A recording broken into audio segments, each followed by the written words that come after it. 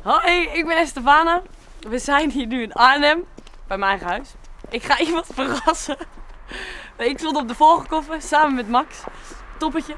En nu staat iemand anders op de voorkant. Mijn lieftallige vriend. Die ga ik nu verrassen. Ja, ja, je zullen wel denken, die sporen niet. Maar we gaan naar binnen kijken of hij ook echt zo verrast is als hij het krijgt.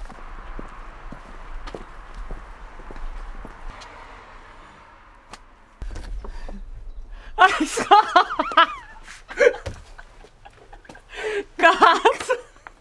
Hé schat, doe open. Ik kan, ik kan het niet hoor. Doe even normaal. Jij hebt iets voor me? Kijk schat, ik stond vorige keer op de, ja, op de cover.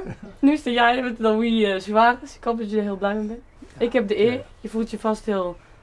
Je dat je deze krijgt? Van mij ook? Van jou. Ja, dat snap ik. En dat is ook echt een hele verrassing. Mag ik het mee? Ja, natuurlijk. Bij deze, Ja, is wel gefeliciteerd. mooi. hè? Man.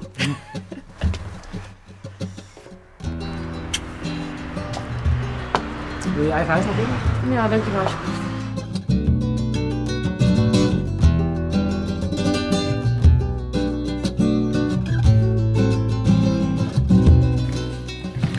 We hebben het in het interview in Helder over gehad, wat Damian voor je betekent. Wat betekent die voor je? Ja, alles. Ik denk dat eh, het voor elke vader wel zo is natuurlijk. Alleen, eh, ja, wij zien elkaar niet elke dag.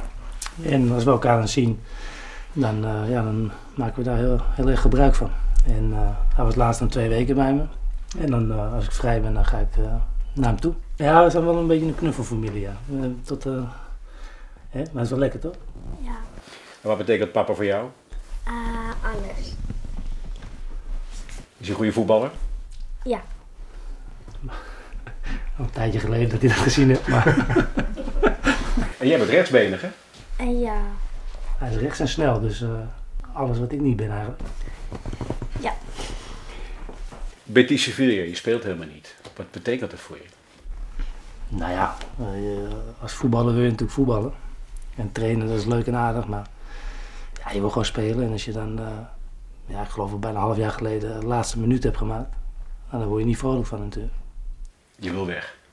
Nou ja, ik wil voetballen. Je had deze zomer naar Ajax gekund, hè? Ja, we waren wel in, in gesprek, maar al een paar keer hoor. Ja. Jammer. Ja, ik moet wel zeggen dat eh, ik- stond er nu wel open voor meer als anders. Maar dat kwam natuurlijk ook door mijn situatie wat ik nu heb. En eh, ja, ik dacht dan gaan we lekker, eh, lekker naar huis, om het zo maar te zeggen. Maar dat is helaas er niet van gekomen. Toen we bij je waren, had Johan Cruijff kanker. Inmiddels is hij overleden. Hoe is hij in Sevilla aangekomen? Ja, dat kwam wel aan bij iedereen, ja. Omdat het ook wel vrij plotseling was eh, voor, ja, we dachten dat het wel wat beter ging. En eh, ja, dan hoor je dat en dan, eh, ja.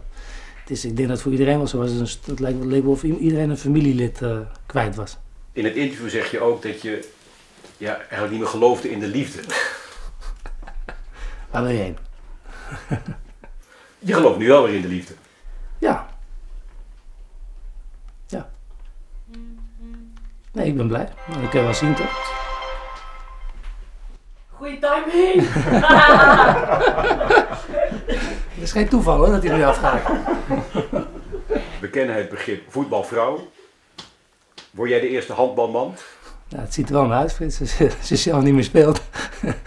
nee, maar ik ben heel erg blij. Je weet dat ik eh, daar nooit te veel over wil zeggen. Ook nu niet, maar ik ben heel blij.